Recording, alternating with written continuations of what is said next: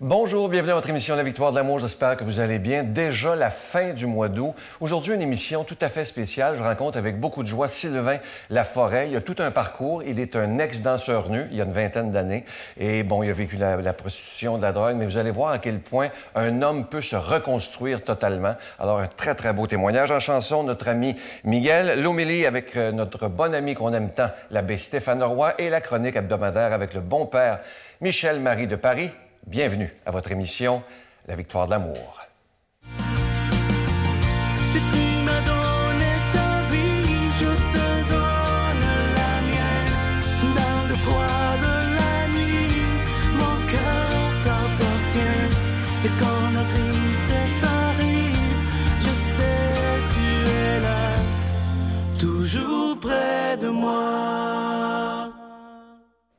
Salut Sylvain, merci d'être là. Ben, ça fait plaisir. Si tu veux, on va reculer dans le temps parce que tu as toute une histoire. Euh, tout d'abord, comment se passe ton enfance quand tu as 6, 7, 8, 9 ans?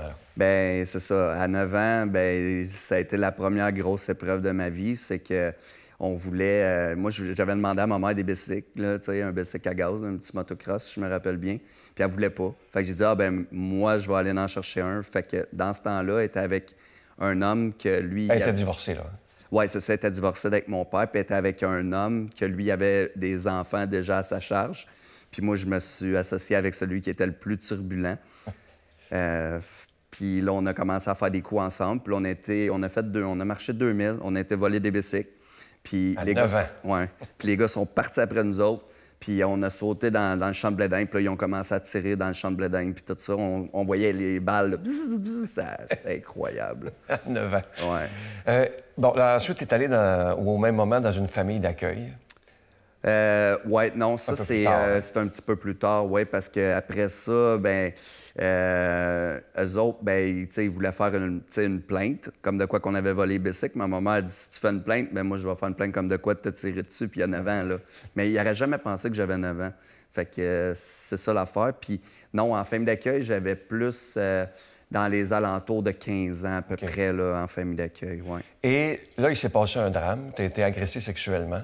Oui, ça, c'est un autre famille d'accueil à Montréal. Parce que moi, j'avais choisi, tu sais, vu que mes amis étaient à Montréal, bien, je voulais m'en aller en famille d'accueil chez ce monsieur-là en question. Puis euh, oui, euh, tu sais, je consommais un petit peu de drogue, mais avec cette gang-là, ça, ça l'a comme euh, augmenté les quantités, tout ça, puis les différentes drogues. Puis moi, je le considérais comme mon père.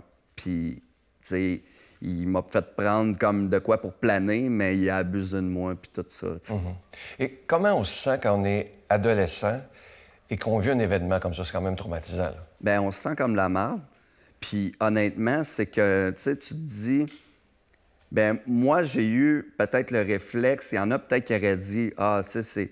Moi, je me servais à mon escient en faisant de l'argent avec ça, puis, tu sais, de c'est ça. J'ai comme mis ça à mon avantage au lieu, tu sais, comme de, mettre ça comme dramatique. J'ai mis ça, bon, ben, gars, c'est une manière de faire du cash rapide, puis je fonce là-dedans, puis tout, mhm. Et là, ça en est suivi, évidemment, euh, évidemment l'alcool, euh, la, drogue. Là, tu es toujours dans l'adolescence, à ce moment-là. Là. Oui.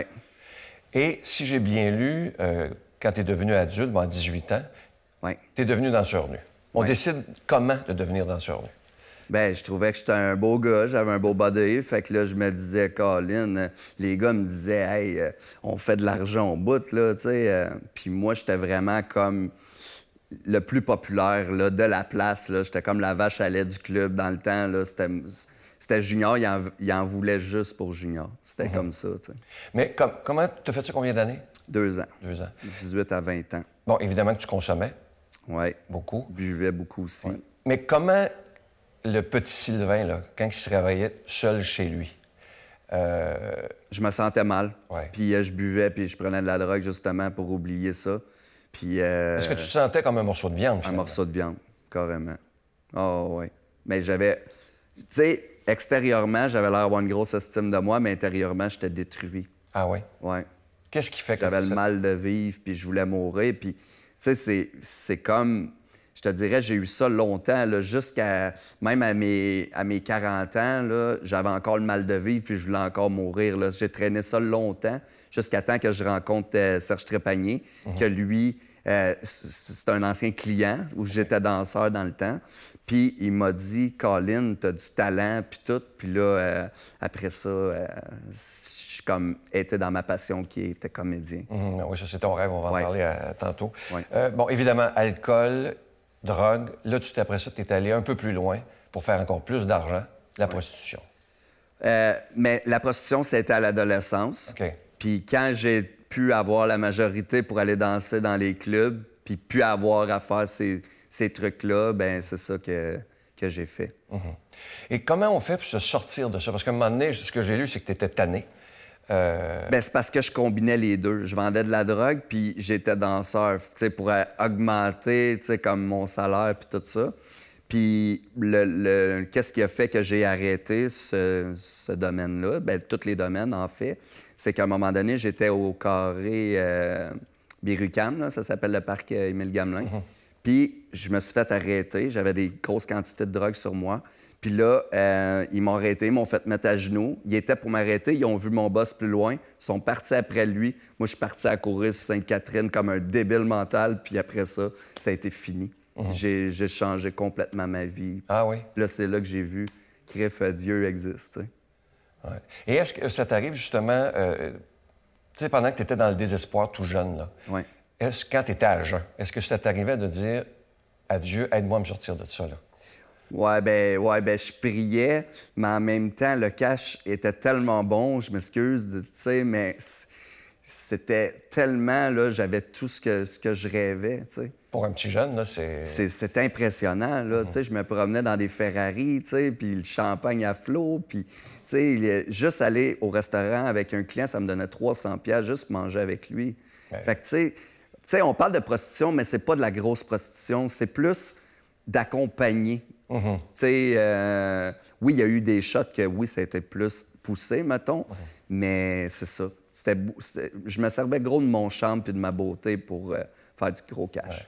Et tu as eu, euh, en novembre dernier, la douleur de perdre ta mère d'un cancer. Oui, puis le plus triste, si tu me permets, c'est que Sylvain, c'est qu'elle ne nous en avait pas parlé.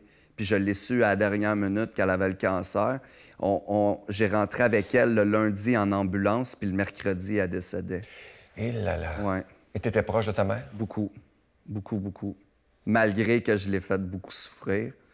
Euh, Oui, justement, quand, quand tu étais dans ce milieu-là de, de- de- de prostitution, danseur, etc., euh, comment est-ce qu'elle vivait ça? Une mère, là, ça doit être. euh, Ben, ma mère... Elle le savait-tu? Elle savait pas. Tu sais, elle savait que oui, je dansais, mais c'était passable. Mais le reste, tout englobait, là, puis qu'est-ce que j'ai vécu en fin d'accueil non plus, elle savait pas. Tu sais, je disais, ah, je vis des moments difficiles, mais je la, je la- je la surprotégeais de ça parce que ma mère était fragile, puis elle serait morte d'une crise cardiaque. Ah oui. Ah. Et quand tu fais une relecture de ta vie, euh, as-tu réussi à te pardonner? Euh, les Oui. bêtises que tu as faites? Oui, oui, je me suis pardonné parce que c'est comme ça qu'on avance. Puis, euh, quand ma mère est décédée, j'ai dit, gars, moi, tous les démons que j'ai à l'intérieur, je les extériorise, puis c'est fini. Je, je veux vivre en paix avec moi-même. Mais qu'est-ce qui fait que, bon, de, de 18 ans, mettons, jusqu'à. Là, tu 42. Oui. euh, qui fait que tu avais tellement ce goût de mourir? Ben parce que j'avais cette blessure-là que je voyais... je- dans ma tête, là, qu'est-ce qui m'a fait cet homme-là que je prenais comme un père? Parce que moi, dans ce temps-là, là, le but, c'était de trouver un père. Parce que j'ai manqué d'un père dans ma jeunesse. Tu sais, il était schizophrène, puis euh, il- des fois, il était violent. Là, pour euh, juste te donner une anecdote, un moment donné, il voyait la reine Elisabeth des nuages. Moi, je la voyais pas, puis là, il m'a donné une baffe. Puis là, après Ton ça, j'ai com-. Oui, c'est ça. Puis là, j'ai commencé à dire, OK, je la vois. Puis là, c'est là que j'ai commencé à compter des menteries, puis tout ça. Puis ça a été pas mal comme le, le cours de ma vie, tu sais, de dire des mensonges pour que les gens m'aiment, puis tout ça. Master, là, personnellement, Sylvain, là, ça me dérange pas. Il, il m'aime parce que justement, je suis moi-même, puis j'ai rien à prouver à personne. Et là, tu as réussi à te libérer de celui qui t'avait euh, agressé. Oui. Euh, on fait ça comment, se libérer de? il faut en parler.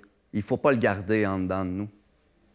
Puis moi, la mort de ma mère, c'est ça qui a été significatif. Même encore aujourd'hui, j'ai encore sa veste dans le garde-robe que je sens pour la sentir présente à côté de moi parce que ma mère, c'est tout l'art du monde pour moi. là. Est-ce que tu prends le temps, bon, comme tu es croyant, de lui parler? Oui. Qu'elle prenne soin de toi? Que... Oui. Oui, puis euh, moi, je sais que ma mère est pas loin de Dieu, là, parce que c'était tellement une sainte femme. Là. Elle avait un grand cœur, puis elle aurait tout donné. Là. Puis si je pouvais revenir en arrière, j'en profiterais encore plus avec ma mère.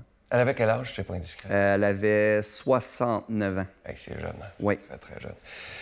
Est-ce que, une question très délicate, est-ce que tu as réussi, bon, tu dis que tu as réussi à te pardonner, est-ce que tu as réussi à pardonner à l'agresseur? Et, et je, te dirais que c'est pardonner, mais pas passer à... Comment... C'est vraiment une question, là, piège, ça, Sylvain, là. Pardonner, je pense pas que, que, que- que j'ai pardonné, mais passer à côté puis faire ma vie. Au Parce moins, que cette blessure-là, euh, j'ai appris à vivre avec. Mais là, le fait d'en parler, je me sens mieux. Mhm. Ouais. Non, puis c'est pas évident non plus de être capable de pardonner ça. Il y a des choses que ça peut prendre des années et même euh, une vie complète. C'est ça. Puis aussi, euh, si tu permets, Sylvain, c'est que, tu sais, euh, c'était supposé être une petite rubrique. Ça a passé dans le Journal de Montréal, dans le Journal de Québec, TVA Nouvelles, en grosse une, là. Tu sais, moi, au départ, c'était supposé comme être, euh, tu sais, pour aider, là. Je voulais comme me libérer, puis en même temps aider, mais ça, ça a fait le- la grosse une, là, cette Ouais, affaire-là. là. Et là, maintenant, ce que je lisais dans le Journal de Montréal, c'est que tu rêves de crever l'écran. Oui. Oui. C'est quoi ton rêve exactement? En fait, là, c'est que là, je suis tout en train de mettre en place. Puis ben, les articles aussi qui ont sorti dans les médias, ça l'aide beaucoup. Il y en a un qui est en train d'écrire une pièce de théâtre sur ma vie. Euh, il y a des, euh, des scripteurs aussi qui sont intéressés à écrire un, un script sur ma vie aussi. Euh, là, il va y avoir un moyen métrage qui va passer au cinéma Capitole à Drummondville euh, sur le féminicide. Fait que, tu sais, toutes des choses que, tu sais, exercer sa passion en aidant les autres. C'est c'est ça mon, mon but ultime à cette heure dans la vie. Est-ce que ça vient de ce trait de caractère-là? Est-ce que ça vient de ta mère? Oui, oui, oui, oui. Ma mère était très généreuse de, de- de son temps. Elle faisait du bénévolat pour euh, les, les femmes, là, euh, la maison de la famille, ces choses-là. Oui, ouais, ça vient vraiment de, de ma mère, ça. Et ton père, il est devenu quoi? Mon père, euh, malheureusement, il est dans une chambre. Je le vois de temps en temps, mais je suis pas vraiment proche de lui. Tu sais, je vais le voir, je vais prendre de ses nouvelles pour savoir qu'il est en santé, qu'il va bien. Ça veut dire que tu as vraiment manqué de ton père. là? Oui. Puis c'est ça qui a fait aussi que j'ai été travailler euh, comme danseur nu dans le club gay, c'est que je recherchais un père. Mon but ultime, c'était de trouver un père. Puis que ce père-là de ma famille d'accueil abuse de moi, de ma bonté, ça m'a détruit. Puis c'est ça qu'après qui a été difficile dans ma vie. En tout cas, est-ce que tu prends le temps, c'est délicat ce que je vais te demander, de prier pour ton père? Ben, je dirais que je prie pour que tout le monde soit heureux. Mais, tu sais, je prie pas pour, comme quelqu'un de spécifique. Je vais prier pour que mon entourage soit heureux. Parce que quand l'entourage est heureux, toi, moi, je suis heureux. En tout cas, avec tout ce que tu as vécu, tu me sembles un homme très équilibré. Vraiment. Ben, merci beaucoup, Je Sylvain. te, je te laisse avec une très, très belle chanson interprétée par Miguel que tu connais sûrement. Très, très belle chanson, plus profond que l'océan.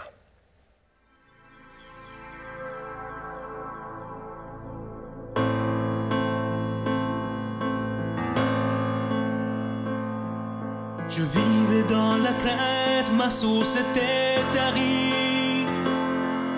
Je fuyais ton étreinte, j'anesthésiais ma vie.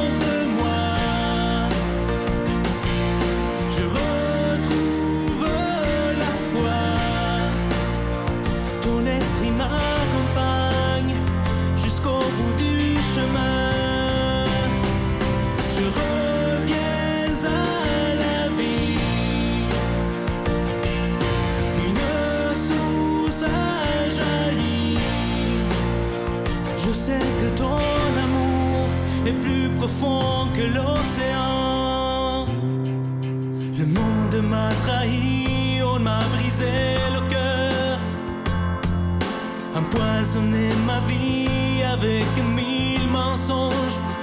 Ton regard m'a séduit, ta parole m'a sauvé,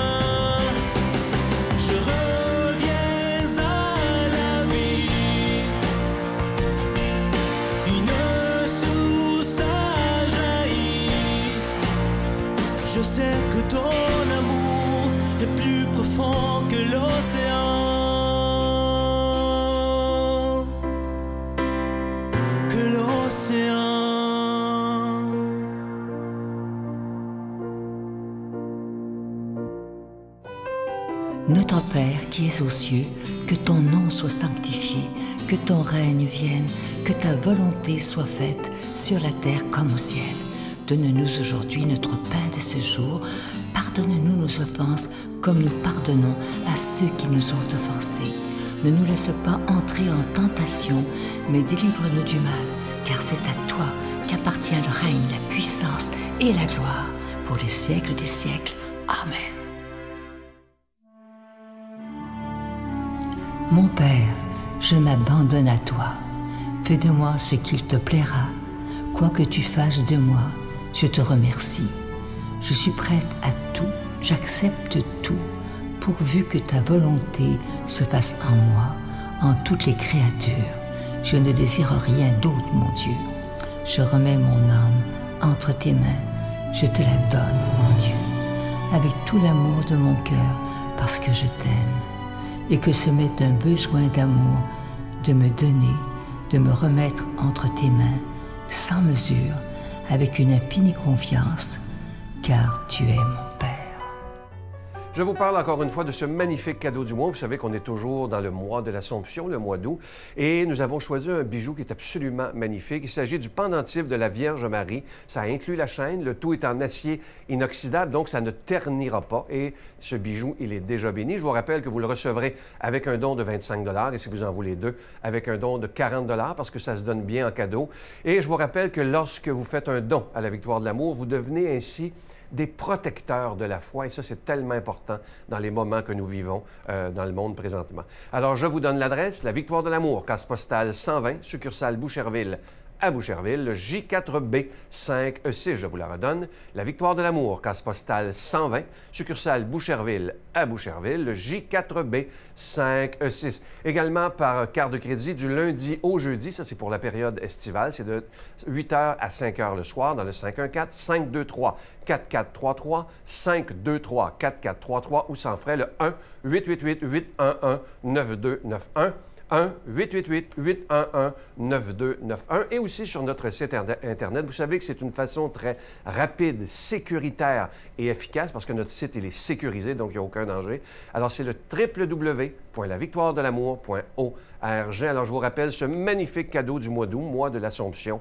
Le pendentif de la Vierge Marie, ça inclut la chaîne. Le tout est en acier inoxydable et déjà béni. Moi, je veux prendre le temps de vous remercier de tout cœur de ce que vous ferez pour la victoire de l'amour. Vous savez qu'en aidant la victoire de l'amour, vous devenez ainsi, et on, on en a tellement besoin, des grands protecteurs de la foi. Merci de tout cœur.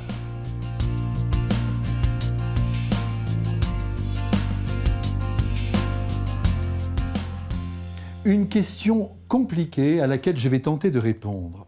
Depuis le début de la pandémie, nous avons prié, multiplié les appels, fait célébrer des messes, mais la situation a perduré pendant un an et demi. Comment expliquez-vous ce silence divin? N'étant pas Dieu, je ne peux évidemment pas vous répondre au nom de son gouvernement, si tant est qu'ils doivent, à vous comme à moi, nous rendre des comptes. Dieu est Dieu, il fait ce qu'il veut. Et ce qu'il veut, je le redis aujourd'hui avec force, vous connaissez mon cœur et je le dis souvent, c'est le bien de l'humanité. Depuis des mois, regardez, on cherche l'origine de ce désastre. Et on ne veut pas croire à une malveillance de la part d'une équipe de chercheurs ou d'un seul homme. Alors, par pitié, ne mettons pas sur le dos de Dieu l'arrivée de ce virus. Ce n'est pas lui qui l'a préparé. De même que ce n'est pas lui qui a inspiré les nazis ou les staliniens à organiser leur camp de la mort. Ça, c'est déjà un premier point qu'il faut bien garder à l'esprit. Ensuite, je crois qu'il faut se dire que Dieu nous a soutenus beaucoup plus que nous ne le pensons, comme il a soutenu les déportés d'Auschwitz et de Ravensbrück. Toutefois, comme à son habitude, il laisse ce que l'on appelle les causes secondes agir sur l'histoire des hommes. Voyez, il n'empêche pas les gens de mourir, et il faut bien mourir un jour pour le rejoindre d'ailleurs. Vu d'en bas, nous avons bien sûr l'impression que la mort est une catastrophe. Et je vous avoue que je ne l'aime pas beaucoup, la mort. Cependant, si on a la foi,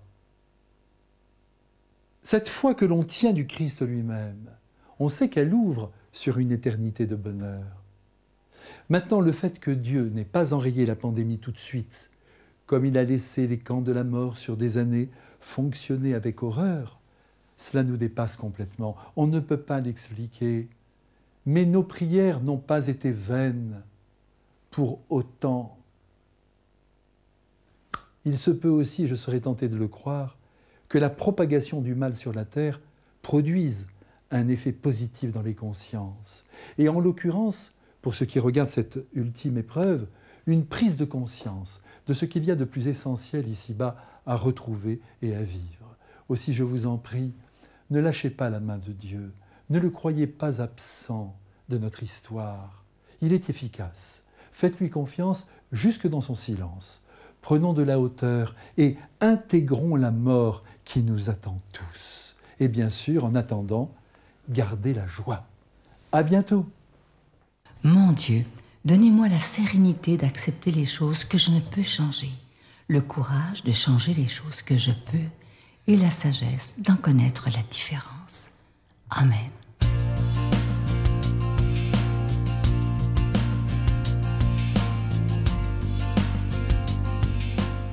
Bonjour à toi. Évangile de Jésus-Christ selon Saint Marc. En ce temps-là, les pharisiens et les quelques scribes venus de Jérusalem se réunissent auprès de Jésus et voient quelques-uns de ses disciples prendre leur repas avec des mains impures, c'est-à-dire non lavées. Les pharisiens, en effet, comme tous les Juifs, se lavent toujours soigneusement les mains avant de manger, par attachement à la tradition des anciens.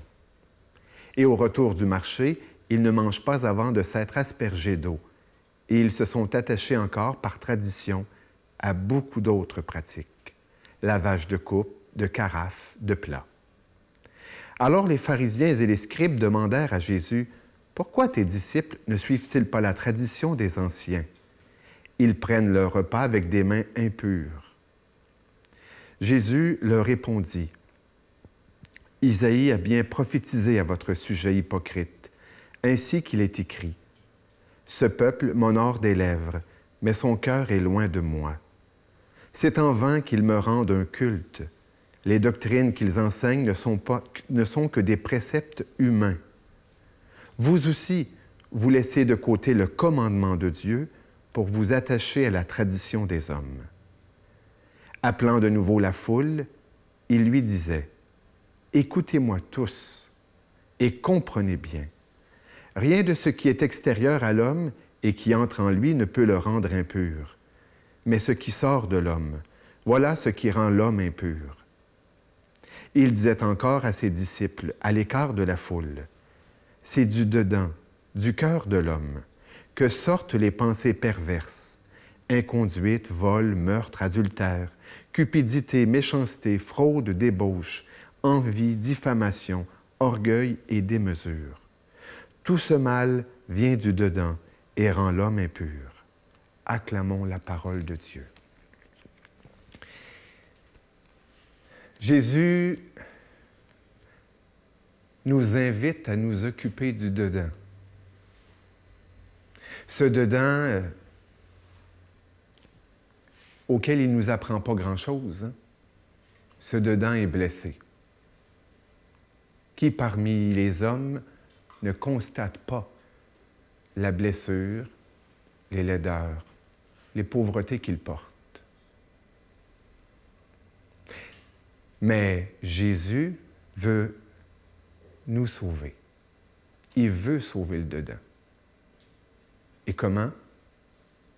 Eh bien, Saint Jacques, dans une lettre, nous dit, Accueillez avec douceur la parole de Dieu qui a été semée en vous et qui peut vous sauver.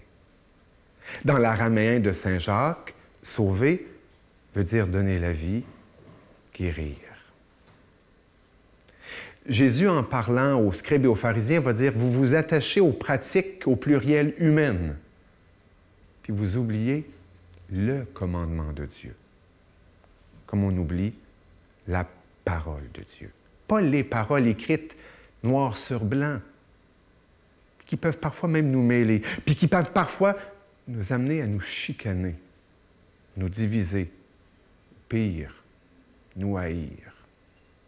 Oui, il y a des chrétiens qui saïssent. Le commandement, la parole, c'est l'évangile de la grâce. Et cette grâce qui est l'amour de Dieu qui nous a été donné. C'est à l'amour que vous aurez les uns pour les autres que l'on vous reconnaîtra pour mes disciples.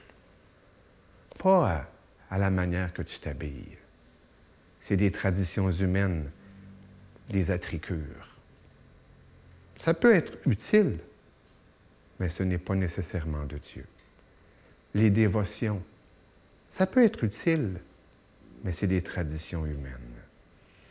La prière qu'il nous a enseignée, elle est tellement plus simple que ce que nous pouvons parfois nous imposer. Et il y a tellement d'autres pratiques humaines que l'on s'impose et qui ne sont pas de lui, qui peuvent faire du bien, mais qui ne doivent jamais être prétexte à nous diviser et à nous détourner surtout du non-jugement, de l'amour, de l'évangile de la grâce.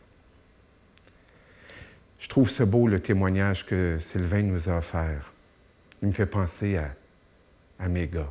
Récemment, je rencontrais un, ex-prisonnier avec ses deux petits gars, puis qui m'a demandé Père Stéphane, as-tu des enfants, toi Puis moi, spontanément, j'ai dit non. Et son papa, un ex-prisonnier que j'ai eu, il m'a dit euh, Il y en a des milliers. Derrière Sylvain, J'aime avoir tous ces hommes, toutes ces femmes qui sont aimés de Dieu et que j'espère rencontrer.